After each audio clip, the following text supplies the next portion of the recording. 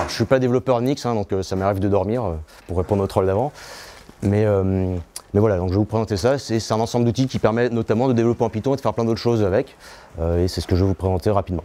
Moi je m'appelle Julien Dos, je suis enseignant-chercheur à l'Université du Littoral, qui est, qui est sur Calais. Et, j'ai mon site web ici où je mets un peu ce que je fais dans mon travail, si ça vous intéresse. Et donc dans le, cadre de, ce travail, ça m'arrive d'avoir à faire des logiciels avec des collègues, on a des petits projets, et euh, bah, évidemment il faut configurer tout ça. Et, euh, bah, on va voir comment, on peut faire ça. Qu'est-ce que j'entends par configuration de projet? Bah, Ça va être gérer les dépendances, gérer la construction du, euh, logiciel, s'il des, phases de compilation, etc. Et éventuellement pouvoir redéployer ça soit sur une autre machine d'un collègue ou sur un serveur. Euh, c'est un problème qui est relativement difficile parce qu'il y a beaucoup d'outils qui, euh, interviennent. Si par exemple je fais un package Nix, bah, euh, un package Python, pardon, je vais avoir besoin de PIP, je vais avoir besoin des setup tools, par exemple, un petit fichier de configuration, éventuellement un environnement virtuel. Donc ça fait pas mal d'outils. Et si mon projet il a plusieurs langages qui interviennent dedans, et eh bah, il va falloir aussi que j'ai tous ces outils-là pour d'autres langages certainement. en plus, donc s'il faut mélanger les deux, ça devient vite compliqué. Et enfin, on peut avoir besoin d'associer différents services, typiquement une base de données. Ah, c'est pas bon. Oui, c'est pas assez euh, proche.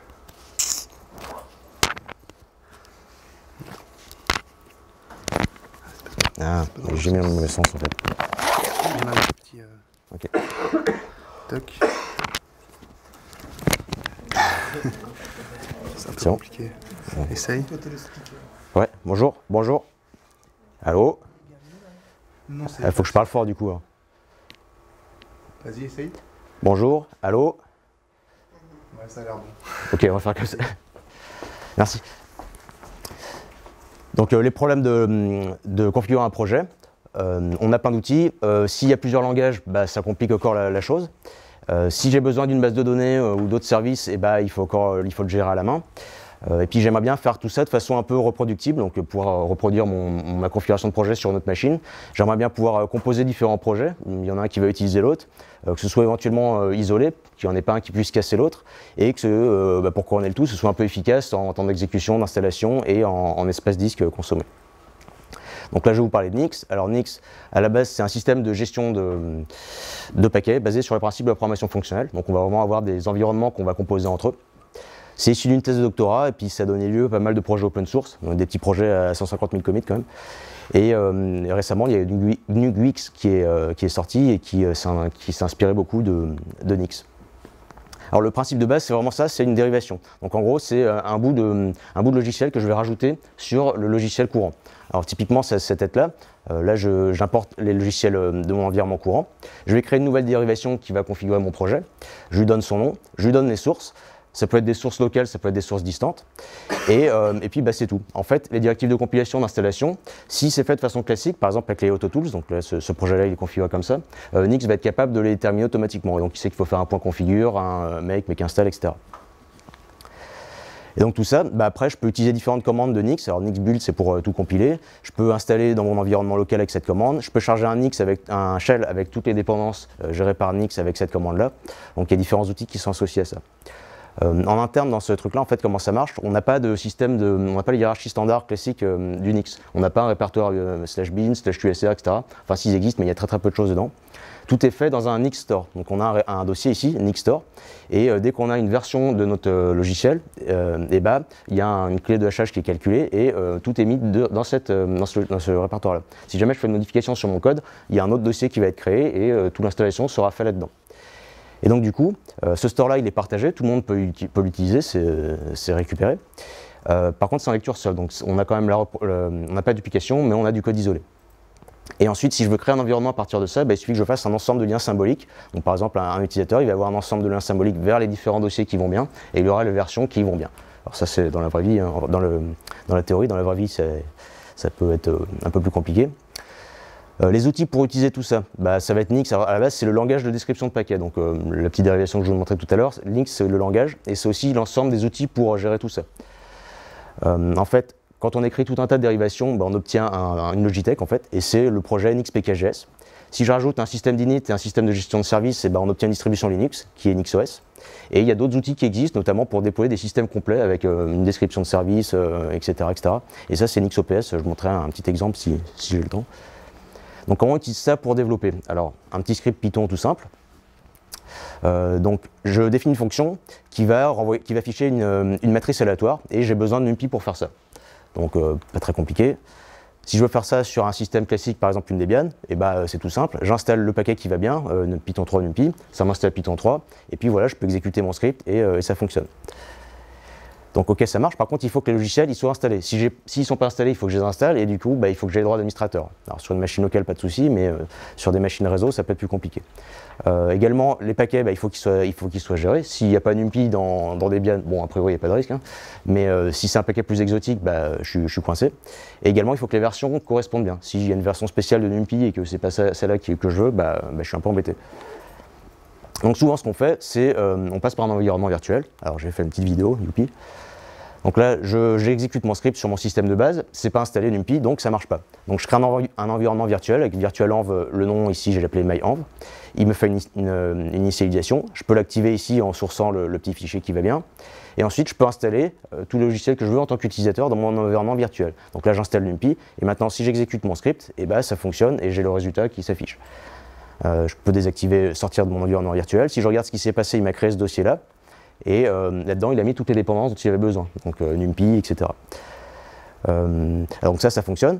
Par contre, c'est pas isolé. Je peux toujours aller dans ce dossier-là et puis tout casser. Bah, du coup, ça va tout casser. j'ai de la duplication. Si je crée un autre projet à côté avec son environnement virtuel et qu'il a exactement la même version de NumPy, eh bah, et bah, il y aura une copie des, fichiers qui correspondent. Et c'est quand même un peu fastidieux parce qu'à chaque fois, il faut que je gère mon environnement à la main, que je sache bien, bah, mon environnement virtuel, il est là et il faut que j'aille dedans pour utiliser mon code. Alors euh, Nixshell, ça permet de, on peut utiliser les Nixshell pour, pour éviter ça. La commande de base c'est Nixshell et je peux spécifier euh, des dépendances dont j'ai besoin. J'ai une petite bout de vidéo ici. Donc en gros je dis l'option "-p", j'ai besoin de ces packages là, euh, Python 3 NumPy. Et soit j'ai un shell où je peux travailler dedans, soit je peux exécuter une commande directement avec l'option "-run" ici et je donne mon script. Donc là c'est ce qui est fait ici. Euh, Nix euh, récupère toutes les dépendances, il exécute mon script, une fois qu'il est terminé, il termine le Nix shell, et euh, bah, si j'exécute mon script, ça ne marche pas parce que mon environnement initial n'a pas été perturbé par, par l'exécution de ce script-là. C'est fait uniquement pour cette exécution. Donc voilà pour un module, pour script tout simple. Maintenant, si on veut faire des modules un peu plus compliqués, alors typiquement mon fichier randmat ici, je l'ai mis dans, dans un dossier projet 1 et je vais faire un package Python avec ça. Donc j'ai fait un petit fichier setup.py ici qui package tout ça. Euh, dedans, bah, il y a juste euh, mon dossier qu'il faut packager et euh, la dépendance NumPy et que j'indique.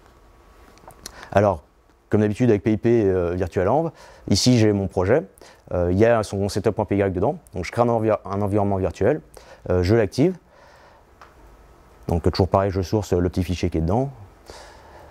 cette fois, je peux installer avec PIP parce que j'ai un setup.py, donc je fais PIP installe le nom de mon projet, il a installé NumPy, il exécute mon, euh, euh, package, il le, package dedans.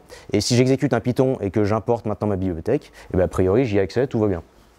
Je peux appeler ma fonction et normalement il me renvoie bien le résultat. Voilà.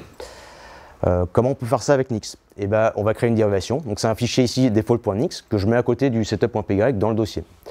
Euh, je charge la, Logitech, euh, l'environnement logiciel de base, et je vais appeler cette fonction-là qui permet de créer un, package Python avec Nix. Donc lui, automatiquement, il sait qu'il va falloir regarder dans le fichier setup.py quelles sont les dépendances, etc., comment, packager mon, logiciel. Et dans ma dérivation, donc en plus de lui dire que c'est un paquet Python, je lui donne le nom, le répertoire où il est source, c'est le répertoire courant, et les dépendances dont j'ai besoin, qui sont fournies cette fois par, euh, non pas par PIP, il ne va pas les télécharger, mais il va les récupérer depuis le système Nix. Donc comment ça, s'utilise? Bah, Comme d'habitude avec Nix, euh, c'est une façon de faire, il y en a plusieurs. Je vais dans mon dossier projet où il y a le default.nix, je lance mon Nix shell, euh, j'exécute une commande Python, donc il va avoir récupéré les dépendances automatiquement et packager mon, projet 1 là. Et donc bah, maintenant je peux importer euh, mon projet, exécuter la fonction comme tout à l'heure. Bon, je vais avancer. Là où ça devient intéressant, c'est pour utiliser des modules. Alors imaginons à côté de mon projet 1, j'ai un projet 2 avec juste un script et puis pareil un fichier de configuration. Euh, j'importe mon projet 1 et puis j'appelle deux fois la fonction qui était définie dedans. Le setup.py, il, est, tout simple, hein, j'ai juste mon script ici. Par contre, j'ai besoin de mon projet 1 ici. Euh, j'ai une dépendance au projet 1. Donc si je veux faire ça avec, euh, mes environnements virtuels, je vais récupérer toujours mon environnement que j'avais créé tout à l'heure. On voit que projet 1 il est toujours installé. Donc je peux installer directement mon projet 2 et a priori ça va marcher. donc là ça s'installe et si j'exécute le script, on, le voit ici, voilà, a priori il appelle deux fois la fonction et tout va bien. Avec Nix, euh, je peux créer un, fichier de configuration pour mon projet 2. Donc ici dans projet 2 j'ai mis mon fichier default.nix et euh, je peux réutiliser les fichiers de configuration des autres projets. Donc là par exemple dans le, projet 1 qui était dans le dossier d'avant, j'avais aussi mon default.nix, donc je vais le récupérer et j'appelle ça ici projet 1. Et je considère que c'est un élément logiciel euh, que je peux utiliser dans ma configuration. C'est toujours un package Python, donc j'utilise la même fonction ici, je lui donne son nom, les sources, et je définis la dépendance à projet 1. Et automatiquement, du coup, il va récupérer, il va aller voir ce qu'il y a dans ce projet 1 et récupérer les dépendances qu'il y a pour ce projet 1. Euh, voilà, donc euh, c'est toujours le, même principe. Je vais dans mon projet 2, il y a mon fichier default.nix ici, euh, le reste de mon code. un Xshell, je lui demande d'exécuter randmat2.py. Il va voir dans projet 1 tout ce qu'il faut. Il, fait tout le téléchargement de dépendances, les phases de compilation s'il y en a, il exécute et a priori ça fonctionne. Et ça, en fait, c'est un vrai package comme on a dans euh, la Logitech Nix et dans le, système d'exploitation NixOS. Ce qui veut dire que je peux l'installer dans le système de paquet de base. la commande, c'est ça, c'est nixenv. Euh, je lui dis, je suis dans le dossier courant et je veux installer. Donc là, automatiquement, il va regarder le fichier default.nix, télécharger tout ce qu'il faut et ça va fonctionner. Donc là, j'ai exécuté, ça marche pas parce que pour l'instant, j'ai rien installé. Ensuite, j'ai lancé cette commande-là, donc là, il m'installe tout ce qui va bien. Et maintenant, si j'exécute, bah, dans mon système de base, mon programme, il existe, il est installé. L'avantage, c'est que je peux le supprimer avec la commande nixenv-e ici. C'est géré comme les paquets habituels. Donc, euh, a priori, pas de, pas de souci. Et si je relance, bah, cette fois, voilà, il ne le trouve plus parce que je l'ai désinstallé. Alors, là où ça va commencer à devenir intéressant, c'est pour gérer plusieurs langages. Donc, ça tombe bien, on a parlé à la, présentation d'avant. Euh, imaginons maintenant, je veux faire un module en C++ pour euh, mon affichage de matrice. Donc là, c'est du code C++, j'utilise la bibliothèque Eigen, j'affiche ma matrice aléatoire comme tout à l'heure. Euh, donc ça c'est ma fonction C++ et je l'exporte avec Boost Python euh, sous le même nom et je voudrais récupérer ça euh, du côté Python pour faire ce script là où bah, j'importe le module et puis j'appelle ma fonction qui est définie maintenant en C++. Euh, donc on peut faire des extensions avec Python, c'est pratique. Le setup.py, j'ai juste à rajouter euh, une extension C++ ici. Euh, le code source C++. J'ai besoin de la, bibliothèque Python pour faire l'interfaçage. J'ai besoin aussi de Eigen 3, c'est une bibliothèque avec que des entêtes, donc j'ai pas, pas besoin d'installer une bibliothèque précompilée ici, mais il faut quand même que j'inclue les chemins. Et pour ça, je vais avoir besoin de pkgconfig. qui est fourni au niveau du système d'exploitation, mais également dans les outils Python. il y a un package ici que je peux récupérer qui est pratique puisque je récupère directement les entêtes ici. Donc ça, ça marche bien. Euh, mais il y a pas mal de dépendances. Euh, déjà au niveau des packages Python, bah, maintenant il me faut pkgconfig, donc je peux l'ajouter dans un fichier de, prérequis. Mais en plus, il faut aussi que j'installe sur mon système bah, pkgconfig, eigen et boost, puisque ça, c'est pas géré par Python. Donc au final, bah, je vais avoir une commande comme ça à, exécuter. Si je n'ai pas les logiciels, il faut que je les installe avec la bibliothèque, euh, avec la Logitech euh, standard. Et après, je pourrais lancer les commandes euh, d'environnement virtuel, etc., etc. Alors il y a juste une étape ici où il faut installer bah, le package Python de pkgconfig avant de pouvoir installer mon projet, mon projet personnel. Bon, je vais avancer. Et l'avantage du coup avec Nix, c'est que bah, tout ça c'est naturel. si je veux packager ce projet-là, je crée j'appelle cette fonction build Python package, et euh, toutes mes dépendances, bah, on s'en fiche en fait, que ce soit du Python ou autre chose, c'est géré exactement de la même façon. Donc ici, je dis bah, j'ai besoin d'Eigen, donc ça c'est niveau euh, système d'exploitation, rien à voir avec Python. J'ai besoin de pkgconfig sur le système d'exploitation, donc ça s'installe, pas de souci. Dans, les packages Python, j'ai besoin de Boost et de la partie euh, pkgconfig de Python pour pouvoir faire mon petit script d'installation. Bah, j'ai juste à les ajouter ici. Et a priori, il se débrouille, quoi. que ce soit du Python ou pas, il est capable de gérer tout ça. Et donc, toujours pareil, hein, je peux exécuter ça dans un Xshell. Je lui demande d'exécuter mon script ici. Euh, donc là, on va le voir sur la petite, vidéo. Euh, et cette fois, il va vraiment euh, récupérer toutes les, toutes les dépendances système plus Python, faire l'étape de compilation, donc ça prend un petit peu plus de temps, et il exécute et il m'affiche le résultat.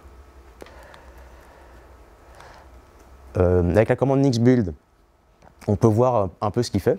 Euh, donc en fait là il va faire tout le packaging, toute l'étape de compilation, euh, il va me mettre ça dans le, store et me fournir un lien symbolique euh, que je pourrais regarder pour voir bah, qu'est-ce qu'il a créé également en, fait pour mon, projet. Donc ici j'affiche tout ce qu'il y a dedans et on voit que bah, il y a mon script Python ici, il y a tout le packaging de Python, il y a la bibliothèque qui a été compilée pour mon extension C++, tout ça en fait c'est tout ce que j'obtiens dans, ma dérivation une fois qu'elle a été exécutée par Nix. Alors, donc euh, là j'avais une, euh, une petite application web. Euh, l'idée c'est j'ai une liste d'acteurs de films et puis si je clique dessus, et eh ben, ça m'affiche la distribution donc sur chaque année combien cet acteur-là a tourné de films. Donc là il y a une base de données derrière, je ne veux pas trop détailler mais c'est juste pour montrer un exemple de déploiement. c'est une application web en, Python Flask. Il y a un module C++, alors c'est plus du, c'est plus du Boost Python, c'est du Pibin, je sais pas quoi, mais on peut l'intégrer. J'ai une base de données derrière, et je voudrais voir comment je fais pour construire ça et le déployer sur une machine virtuelle avec les outils Nix. Alors, euh, au niveau de mes fichiers, bah, j'ai pas grand chose de compliqué. Hein. J'ai mon extension C++ qui est ici. J'ai les données de ma base de données euh, ici, donc avec la liste de films, les acteurs, etc. Euh, ma configuration de Nix, le petit fichier ici. donc c'est similaire à l'exemple 3 que j'ai montré tout à l'heure. Hein. Il y a du, C++, du, Python. Ça, j'en parlerai après. Le petit fichier de configuration de, de, Python et le code de mon serveur, mon serveur Python. Donc ok, a priori si j'ai ça, ça marche en local avec ce fichier default.nix, je peux faire un nix shell run et puis il va m'exécuter mon programme. Il faut bien sûr que j'ai configuré quand même ma base de données avec les, bonnes données qui vont bien dedans. Et euh, si jamais je veux euh, euh, si jamais je veux déployer ça de façon automatique, eh ben, je peux créer un autre fichier Nix, donc c'est ce fichier-là, nixops.nix, qui utilise toujours le langage Nix, mais où je vais continuer à décrire mon environnement logiciel. Donc mon déploiement, je l'appelle web server, Dedans, je récupère les logiciels ici euh, de, Nix euh, classique, euh, Nix PKGS. Je récupère le default.nix de mon projet local. Donc en local, j'avais testé, ça marche. Je peux le récupérer ici. Et ensuite, je peux activer tout un tas de services pour, pour mettre en marche ma, mon déploiement. Donc là, j'ai besoin d'exporter, d'ouvrir un port, un port sur le firewall, donc le port 5000. J'ai besoin d'activer une base de données, donc là j'ai activé le service PostgreSQL, je lui passe le script de provisionnement, donc euh, il va regarder les données là-dedans, il va lancer le SQL qui va bien pour initialiser ma base de données. Et ensuite, bah, j'active un service ici qui correspond à mon script Python, euh, il va faire tourner ça, euh, il va faire tourner le serveur web qui est dedans. Il me reste une chose à faire, c'est d'indiquer la, cible de déploiement. Donc là je lui dis, bah, on va créer une VirtualBox et dedans tu vas me mettre tous les logiciels que j'ai spécifiés et tous les services que j'ai décrits auparavant. donc une fois qu'on fait ça, eh ben, il suffit d'appeler ces commandes-là. Donc je crée une image, euh, virtuelle que j'appelle VM1 à partir de ce fichier-là, nixops.nix. Euh, et euh, ensuite, je lance le déploiement ici et il va me créer toute la machine virtuelle, installer les paquets dedans, compiler s'il faut compiler, activer les services et tout relancer comme il va bien. Donc une fois que ça c'est fait, bah, mon, serveur est disponible, ma machine virtuelle est disponible, donc il me fournit une adresse ici que, je peux exécuter sur le, port 5000 et j'ai accès au site, c'est la petite vidéo que je vous ai montrée tout au début. Euh, ça marche pour des machines virtuelles, on peut aussi euh, déployer sur des services de cloud classiques, genre Amazon, Google, etc. Et voilà. Ah bah, c'est bien, je suis pas trop en retard. Donc pour conclure, euh, Nix, ça permet de gérer des paquets, aussi bien au niveau logiciel qu'au niveau service. ça essaie de faire ça de façon un peu efficace, reproductible, composable, isolée. Ça peut travailler au niveau des paquets, donc je peux créer des paquets, mais je peux regrouper différents paquets et, faire des conteneurs. Il y a même moyen de faire des conteneurs Docker et des conteneurs aussi pour Nix. Euh, si je rajoute des services, je peux même faire des machines virtuelles complètes. Ou à l'opposé, on peut déployer des microservices. Il y a un outil qui fait, ça, aussi. Bon, je ne le connais pas, mais il paraît que ça marche. Et tout ça, bah, c'est utilisable pour pas mal d'applications, que ce soit du Python, des gros projets euh, en Python ou autre chose, ou sur des petits scripts. Ça peut être euh, assez intéressant quand même pour l'aspect reproductibilité. Alors, par contre, il y a des inconvénients. Effectivement, la phase d'apprentissage est importante. Alors, euh, comme, euh, comme Cyril en parlait dans la, présentation d'avant, effectivement, les, fichiers ils sont un peu indigestes au début. Il faut quand même les apprendre euh, à écrire les fichiers Nix et à utiliser les outils de Nix. C'est pas, pas immédiat. Ça peut consommer pas mal d'espace disque parce que comme on ne modifie pas les anciens packages, bah, on, va en créer de nouveaux pour ne pas les perturber. du coup, bah, ça, peut, ça peut gonfler rapidement. Alors il y a des commandes pour nettoyer, mais il ne faut pas oublier de les exécuter régulièrement. Et c'est assez peu connu, euh, notamment pour les services de, cloud. Euh, idéalement, on pourrait avoir une machine Nix et puis euh, bah, j'envoie un conteneur dessus avec tous mes logiciels, tous mes services et ça fonctionne. Mais il y a peu de services qui, proposent ça en fait. Donc si ça vous intéresse, bah, il y a des docs sur internet. le site de NixOS, ils ont un wiki depuis pas très longtemps. tous les codes que j'ai montrés ici, bah, ils sont sur ce dépôt-là, donc vous pouvez les tester et, et, les slides sont sur cette adresse ici. Merci de votre attention, si vous avez des questions.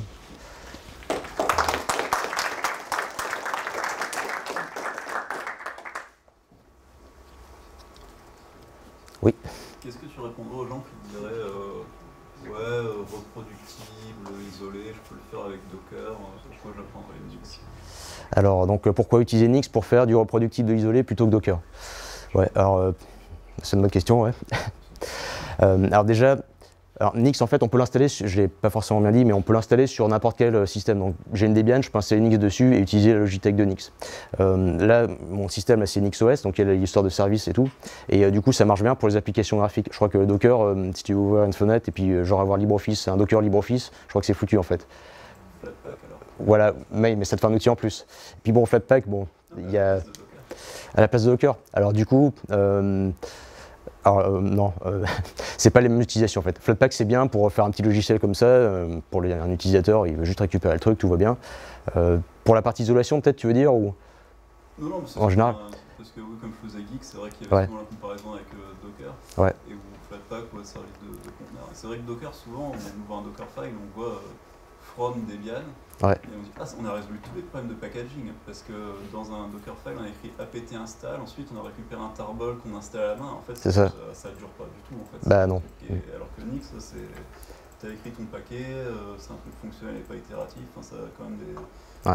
Mais c'est pas, la- c'est pas la tendance, étonnamment. Euh, La tendance, c'est plutôt faire des conteneurs et des gros bousins compliqués que personne ne saura maintenir. Ouais, moi j'ai une théorie là-dessus, mais bon, je préfère pas en parler là. Mais effectivement, en fait, c'est des usages différents. Du Docker, ça m'arrive de l'utiliser, c'est pratique pour certains, certaines utilisations aussi. hein. Bon, Flatpak, c'est évi- évidemment euh, un utilisateur, il a pas envie de s'embêter, il récupère le truc, il l'exécute, ça marche. Euh, Docker, bah, euh, ça peut être pas mal pour euh, déployer des services. Après, pour l'orchestration, c'est c'est pas mal aussi. hein. Je connais pas trop ce- cette partie-là, mais donc il y a quand même des intérêts. Euh, Nix, l'avantage de ça, c'est que euh, c'est vraiment facile de faire du, des logiciels, faire plein de services, etc. Et ça, c'est vraiment pas mal. Moi, ce que je regarde, c'est qu'il n'y ait pas un outil qui permette bah, justement de mettre cette euh, configuration euh, NixOS ici, euh, NixOPS, de pouvoir faire un, conteneur Docker euh, directement avec ça. On peut en fait faire un conteneur Docker à partir d'un- d'une dérivation Nix, mais à partir de, de tout ce qui est euh, gestion de service, c'est pas aussi simple. Ou alors je connais pas bien, mais et donc c'est un peu dommage parce que c'est quand même super pratique quand il faut commencer à combiner plusieurs services avec plusieurs images Docker ou faire du Docker Compose, ça commence à se compliquer. euh. Et effectivement au niveau euh, isolation, productibilité, c'est euh, vraiment le cas en fait. Au début ça fait râler parce que ah, j'ai oublié d'installer un truc, je vais aller modifier dans le Nixstore, bah non on peut pas. Il est vraiment, et même en route, il est vraiment en lecture seule complète, on peut pas, on peut pas tout casser en fait. Donc voilà. Je sais pas si j'ai répondu, Encore 5 minutes. encore 5 minutes. Je chante pas ni rien, je vous préviens tout de suite. Oui, pardon. Est-ce qu'on pourrait envisager de construire un système de production basé sur Nix Euh, euh, pour, euh, pourquoi? Pour déployer des services web, des choses comme ça? Ou pour déployer des applications en général Parce que moi je vois beaucoup l'intérêt en développement, Ouais. super pratique, mais en production j'ai plus de mal à savoir si pas. bah, justement, il est immédiat aussi. Parce que euh, une fois qu'on a fait ces fichiers-là, euh, ça configure en local, euh, ok, on peut développer, on peut mettre ça sur la machine d'un collègue, et puis il, exécute un, shell par exemple, et puis c'est bon, ça marche. Mais justement en production aussi, parce que si la machine elle supporte Nix, et bah, que ce soit du Debian ou notre distribution, qui ne sera pas forcément la même que celle d'un utilisateur développeur, euh, et bah, c'est immédiat en fait, il récupère tout directement. Moi, ça m'arrive de faire l'intégration continue avec des images Docker où il y a un Nix dedans justement. Et euh, comme ça, bah, j'envoie mon truc et puis, euh, ça marche. Je Nix build dans le, Docker, je rajoute un Nix build et puis c'est bon. Donc euh, après, Ouais. Alors, en fait, il y a moyen de configurer, il y a moyen d'installer un NixOS en fait et de mettre ça en production. Il y a des gens qui font ça. Et euh, toute la configuration du système, elle est faite via, un, bah, je peux le, montrer là. Euh, elle est faite via, si j'y arrive, elle est faite via un fichier de configuration aussi. Et donc c'est très reproductible. Euh, tu prends ton fichier de configuration, tu, le, tu fais ton installation sur ta machine un NixOS de base, tu dis tiens maintenant je récupère tel fichier de configuration et paf, ça installe une machine exactement comme euh, ce que tu avais là. Euh, et du coup tu peux charger des conteneurs aussi. Alors je vais le montrer. Euh, c'est pas ça.